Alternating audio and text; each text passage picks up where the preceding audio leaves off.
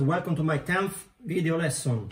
Today I want to talk about Mike Auldridge and uh, he's, a, he's a giant so I think for this 10th lesson I want to pay kind of tribute to, to him because because you know, because he's so great. And the song that I want to do today that is called Dobro Island I think is a very nice and good song this is the, you can find Dobro Island on his CD Blues and Bluegrass. There is this one. Yeah, Mike Auldridge, Blues and Bluegrass. Amazing album, full of a wonderful song. I want to try with Dobro Island with you. So maybe you can follow me and maybe you can try at home because it's so fun. And um, let's begin with this wonderful song. Yeah, Mike Auldridge. Okay, this song is in A,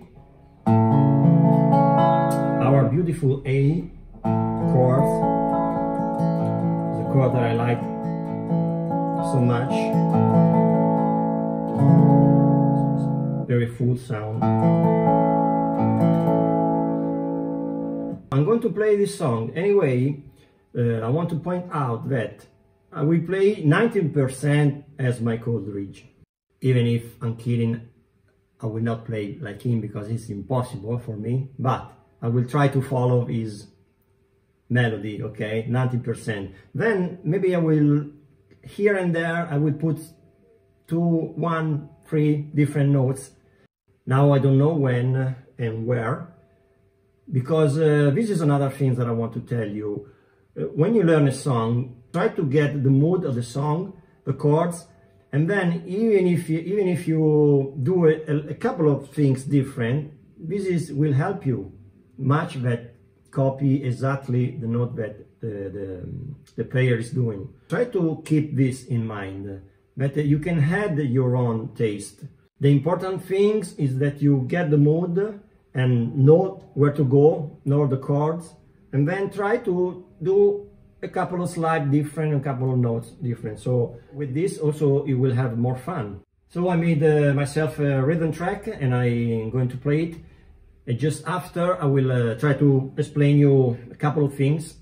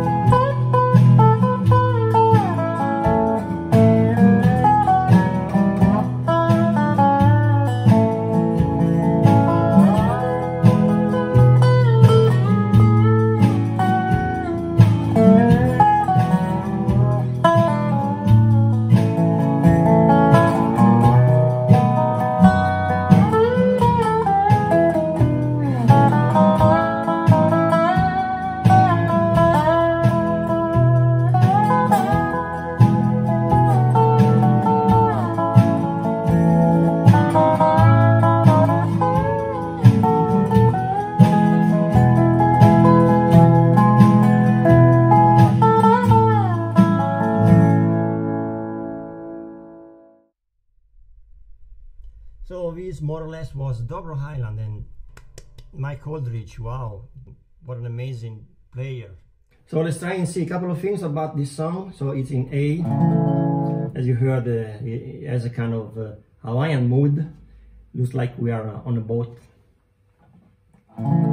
behind a palm tree on the beach. And uh, the way I do it, A, and I pick the second and third. If you want, also the fourth.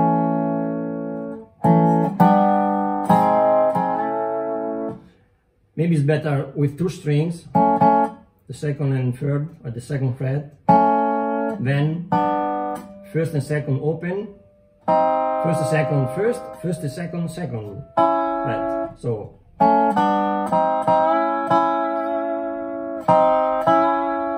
and then there is, if you want, if you're able to do the slant,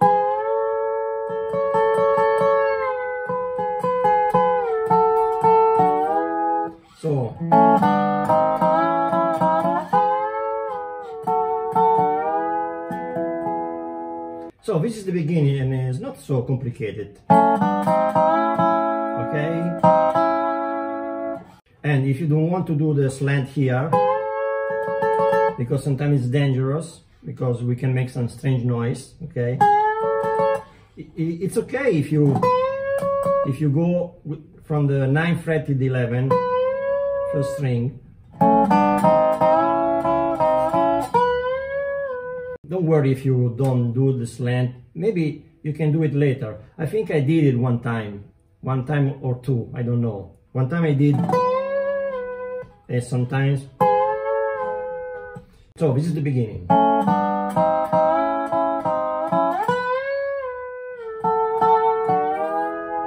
Then always first and second string, seventh fret, slide to the ninth, from the so from the D to the E. Then here, actually you can do what you want. If you follow Mike Auldridge, you do something like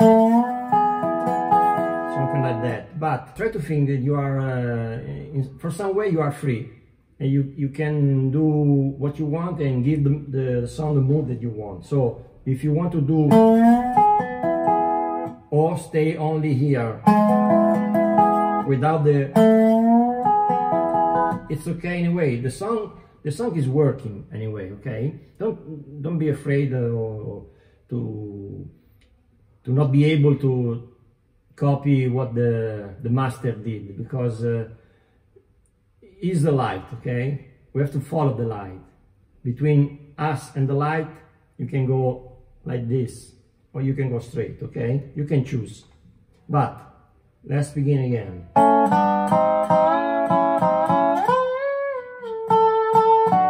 Also,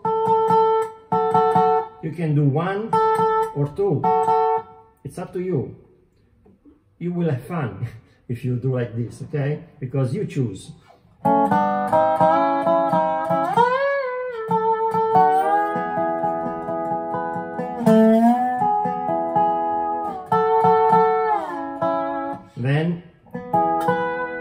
In D and come back in A. And then repeat it again.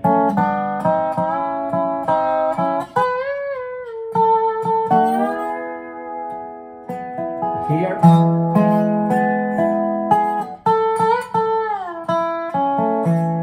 This is a way to do it. I do it like this. I repeat again, the second part. That is the one who close it.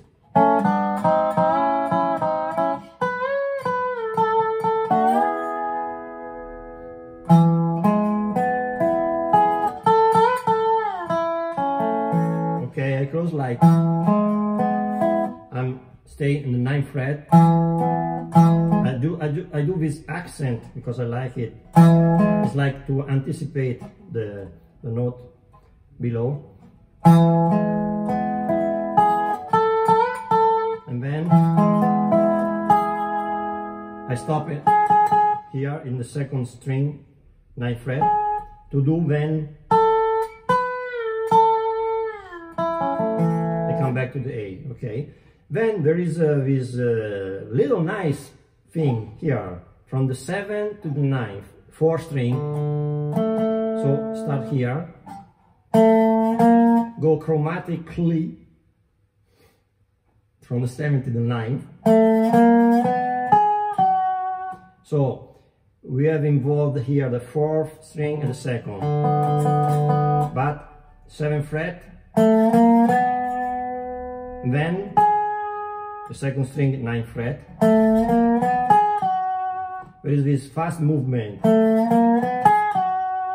Where you have to switch from the 90 to the 7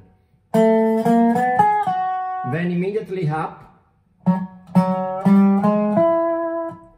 This is optional because now I tell you.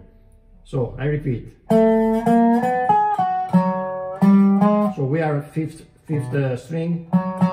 Seventh fret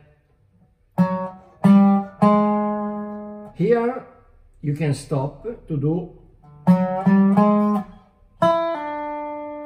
Because this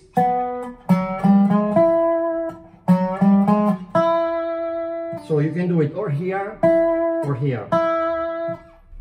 I show you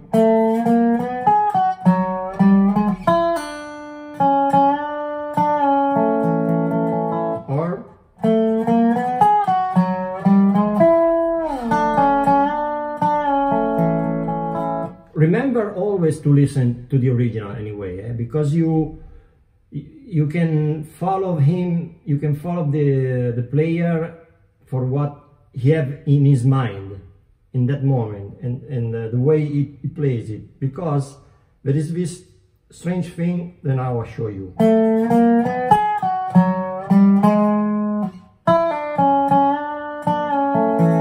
There is it is kind of uh, pause There is this kind of stop before playing a note. It's, it's just interpretation sometimes, okay? Because you can do all in a row.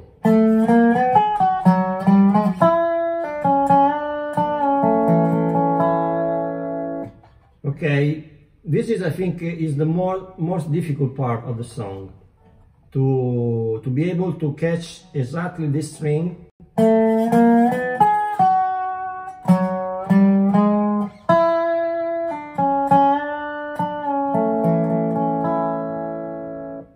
Next is, we come back to the E.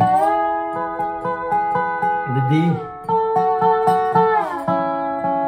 Then repeat again.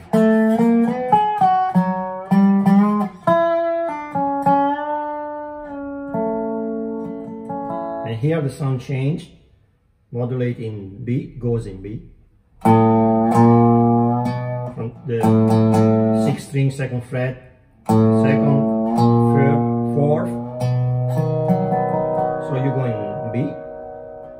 close with this lick in E.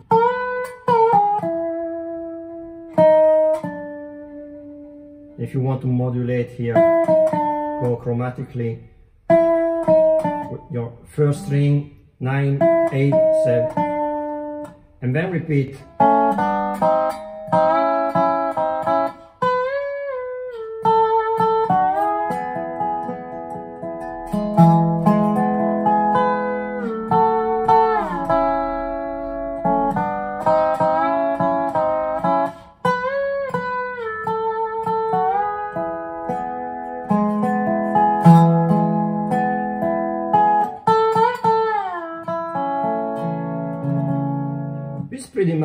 Song.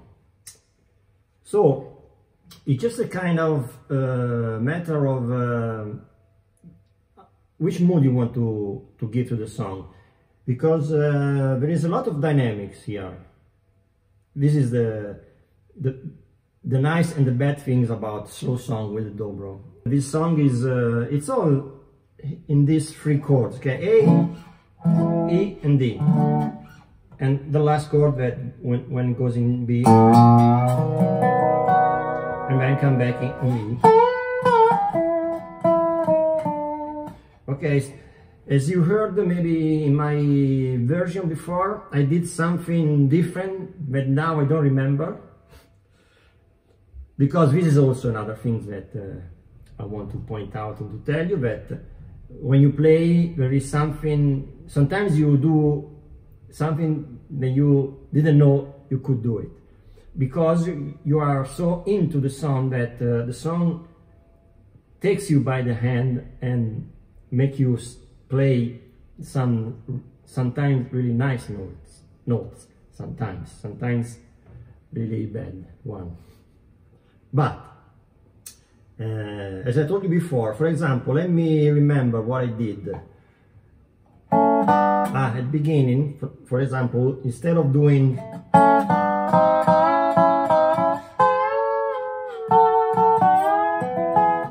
I think I did something like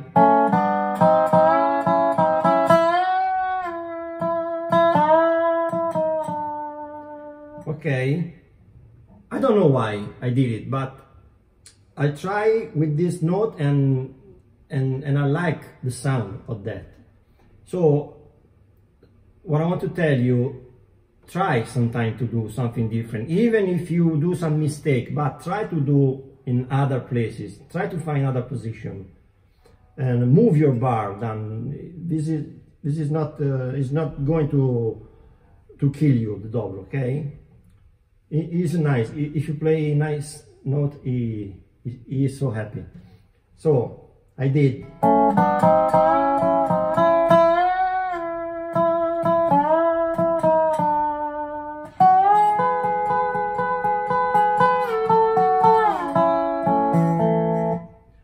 Instead of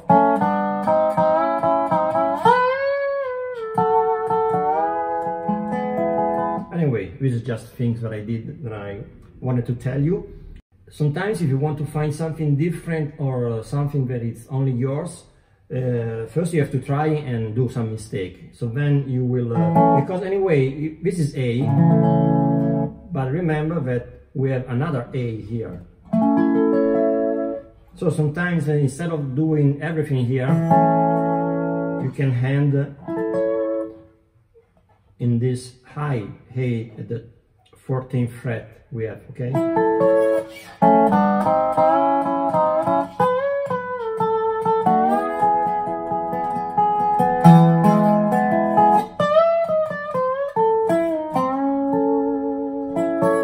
Okay, this could be an ending. And uh, other things uh, in, uh, in between, let's see.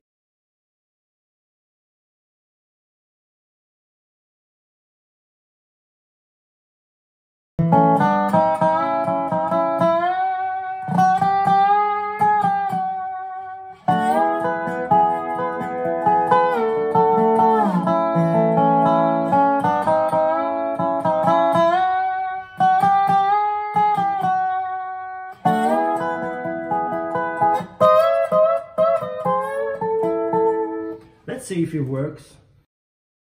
I will try to do a little stuff different, okay?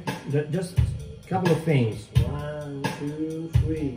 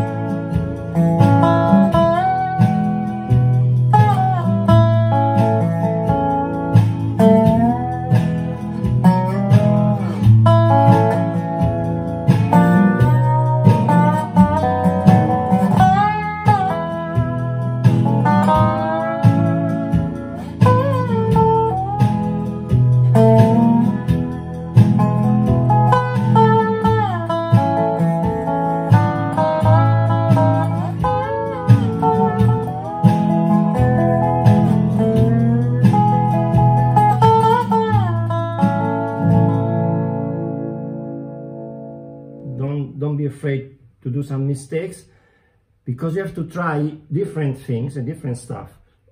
Even in a song like this, but it seems so simple because uh, only three, four chords. And um, as you notice, sometimes I waited to play. Um,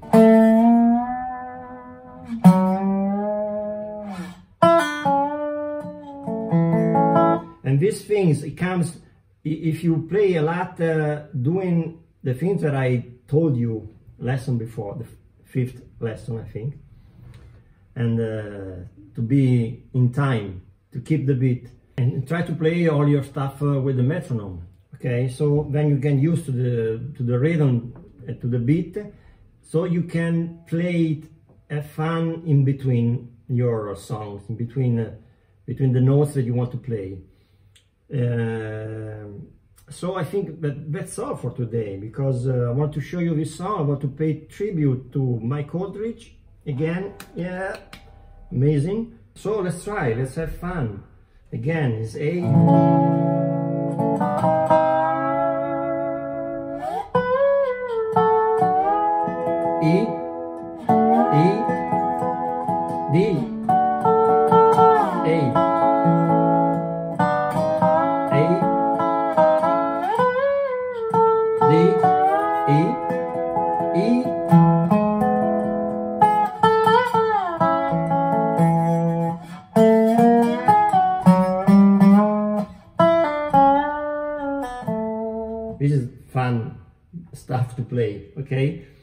can you can change your the timing.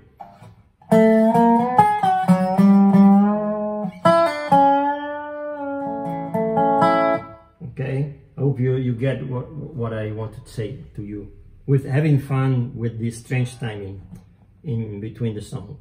Okay, so thanks for watching and uh, as always leave a comment if you want, uh, subscribe and um, if you push, uh, click the little bell, uh, you get the notice when I will put a new video and uh, see you next week for uh, another lesson. I will try to find another fun stuff to do together, okay? Also, I want to tell you, if you want to see other version, there is a, a wonderful uh, one uh, by Sally Van Meter that he, she will she's playing uh, with um, all the other with Jerry Douglas and Rob for that occasion because of Mike Auldridge tribute. Dobro Island, Sally Van Meter, you will find this amazing video and you will hear this amazing song with all the band. Uh, okay, remember Mike Auldridge? Yeah, Dobro and Bluegrass. And see you next week. Ciao.